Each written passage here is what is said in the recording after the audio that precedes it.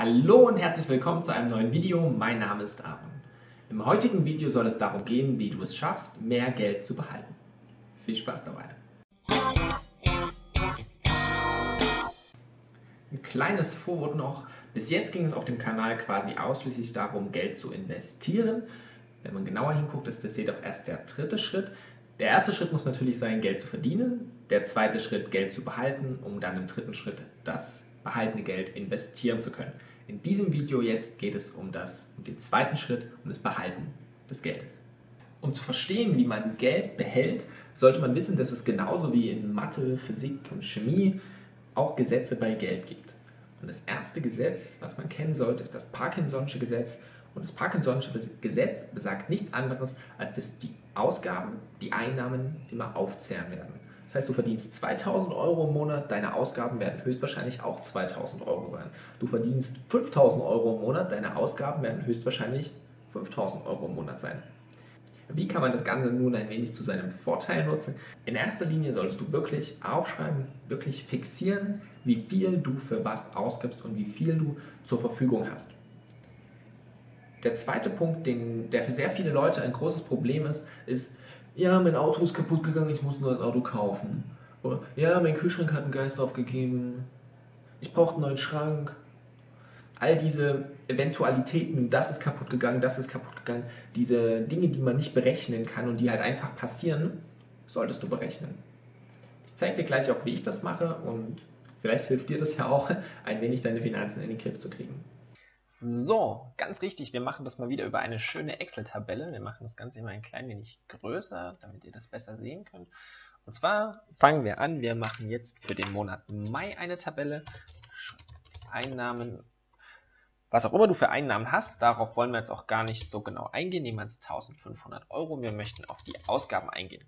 Und zwar ist es wichtig, jetzt wirklich alle Ausgaben, die du hast, aufzulisten. Das sind meinetwegen in erster Linie deine Miete, was du an Nahrungsmitteln zu dir nimmst. Ich nenne das immer liebevoll Leben. Das war die Wohnung. Dann, was du für Kleidung ausgibst. Gut, ich weiß jetzt nicht, wie viel du für Kleidung ausgibst. Kleidung. Aber da kommen alle Dinge rein, die du wirklich ausgibst. Beispielsweise 50 Euro für Strom, 45 Euro für das Internet und TV. Um, was hat man noch für Ausgaben? Die Hand Kosten fürs Handy sind beispielsweise 30 Euro. Und dann Versicherungen. Versicherungen ist wichtig, dass du die runterrechnest auf den Monat, dass du wirklich, weil letztendlich kostet dich eine Versicherung monatlich, auch wenn du sie jährlich bezahlst, ist es wichtig, dass du pro Monat schaust, wie viel du eigentlich zahlen würdest.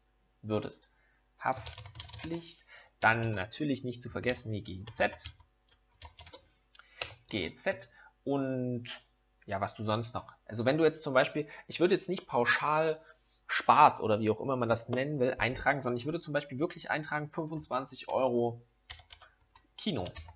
Das sieht man dann mal, wie viel man wirklich ausgibt. Oder man geht abends essen, man geht abends in irgendeine Bar und zahlt 40 Euro Barbesuch. Da sieht man erstmal, wenn man das alles aufschreibt, wie viel man da wirklich ausgibt. Für wen das am Anfang wirklich schwer ist, seine Finanzen in den Griff zu kriegen, für den würde ich auch empfehlen, die Sachen hier, was man an Leben, also was man an Nahrungsmitteln kauft, das einfach mal aufzuschreiben, was man da wirklich ausgibt. Das ist teilweise unfassbar, wie viel Leute für Lebensmittel ausgeben. Also wirklich alle Dinge, die zum Vergnügen sind, aufschreiben. Ganz am Schluss macht man dann eine schöne Summe. Und hier macht man eine Summe rein. So, und dann machen wir hier unten drunter noch die Differenz zwischen den beiden. So, also so eine Excel-Tabelle kann sich jeder erstellen und das auch ohne großen Aufwand. Das ist ziemlich simpel, so eine Tabelle zu erstellen.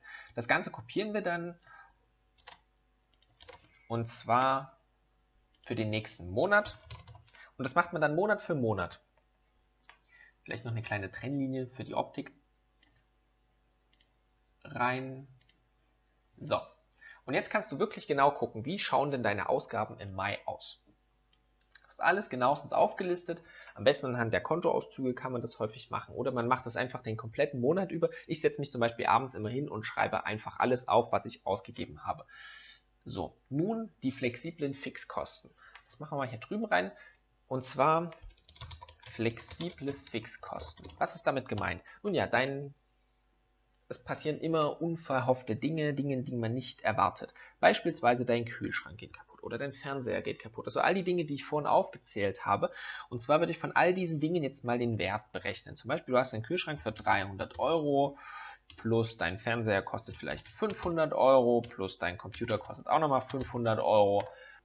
Da haben wir 1300 Euro. Das Ganze teilen wir jetzt das, das da durch 24 so, mal, ich sage jetzt einfach mal, dein Computer hält im Schnitt 24 Monate, dein Fernseher hält 24 Monate, das ist einfach nur, ja, fiktiv jetzt genommen.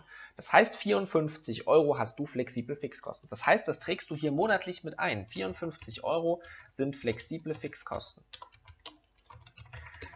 Ich für meinen Teil hebe die immer am Anfang des Monats direkt vom Konto ab tue sie in den kleinen Umschlag. Inzwischen sind da auch schon wieder 350 oder 380 Euro drin. Und wenn halt doch irgendwas kaputt geht, mein Computer geht jetzt kaputt oder ja, ich zahle zum Beispiel meinen Semesterbeitrag. Das ist für Studenten auch eine schöne Sache. Einfach, ich weiß nicht, was ihr an Semesterbeitrag habt. 25 Euro wären sehr schön, vielleicht 35 Euro im Monat einfach schon mit wegtun. Auch in den Umschlag rein.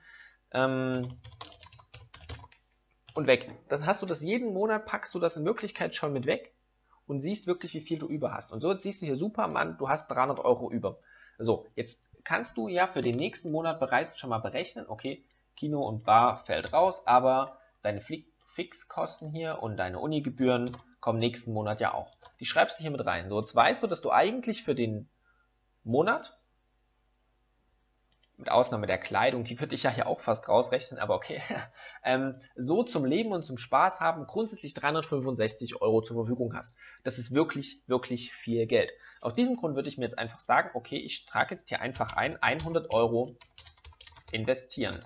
Das Geld am Anfang des Monats packe ich das auf mein Verrechnungskonto, investiere das direkt am Anfang des Monats, das ist weg. So, dann sehe ich, ich habe noch 265 Euro über. Okay, dann werde ich halt auch nur 265 Euro ausgeben, weil die Einnahmen und die Ausgaben, das wird sich immer in etwa eine Waage halten. Das heißt, wenn du einfach 100 Euro schon wegpackst und weißt, du hast noch 265 Euro, dann wirst du 265 Euro wegtun. Ich möchte jetzt aber mal zeigen, als Homo economicus, nein, ähm, ich möchte jetzt zeigen, wie meine Ausgaben sind. Und zwar habe ich meine Ausgaben wirklich etwas reduziert. Und zwar, ich habe 215 Euro für Miete. Ich gebe 100 im Leben aus. Kleidung, muss ich zugeben, kaufe ich sehr, sehr selten. Ist kein Extrapunkt bei mir. Wenn ich es doch mal mache, trage ich es dann quasi ganz unten einfach mit ein, wenn ich mir doch mal ein neues Hemd kaufe. Ich wohne in einer WG und zahle 22,50 Strom. Internet zahle ich 12,50 Euro dank Check24 wirklich ein super Angebot.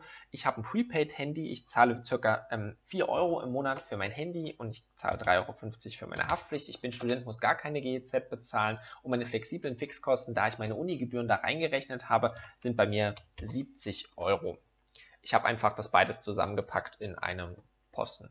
So, jetzt können wir mal ausrechnen, was ich, also was meine Fixkosten quasi sind.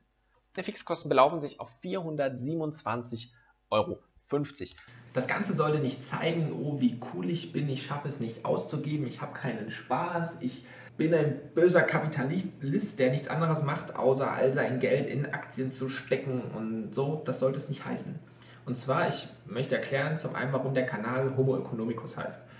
Der Homo economicus agiert nach dem ökonomischen Prinzip. Das ökonomische Prinzip kennt zwei Modelle, sage ich mal. Einmal das Minimalprinzip und einmal das Maximalprinzip.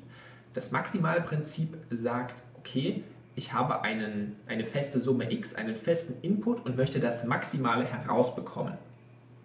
Und das Minimalprinzip sagt quasi genau das Gegenteil. Ich habe etwas, mein Output ist ident, also mein Output ist gegeben und ich möchte das mit minimalen Mitteln erreichen. Und das ist genau das, was ich auf meine Ausgaben angewendet habe. Ich habe meinen Output, ich möchte einen schnellen Internetanschluss haben. So, nun schaue ich, Minimalprinzip, wo kriege ich das am günstigsten? Was anderes ist das letztendlich nicht. Und das habe ich bei all meinen Ausgaben gemacht. Ich habe das Schritt für Schritt über die letzten zwei Jahre alles heruntergefahren und habe immer geschaut, wie kann ich das kostentechnisch so minimieren, dass es quasi nicht weiter zu minimieren geht. Und das habe ich in allen Bereichen gemacht. Und dadurch habe ich es geschafft, meine Kosten enorm zu senken. Zudem kommt natürlich die Sache mit den flexiblen Fixkosten. Dies kann ich wirklich jedem empfehlen zu machen. Das hilft ungemein weiter, weil es geht immer irgendwas kaputt. Das war es jetzt auch schon wieder mit dem Video. Ich freue mich, wenn jemand bis jetzt noch zuschaut und wenn dir das Video gefallen hat, dann lass mir doch mal einen Daumen nach oben. Vielleicht kennst du ja irgendwelche Tricks, wie man die Ausgaben noch weiter reduzieren kann. Und ansonsten, wer noch kein Abo dagelassen hat, darüber würde ich mich natürlich am meisten freuen. Ich bedanke mich fürs Zuschauen und wir sehen uns beim nächsten Video wieder. Bis dahin.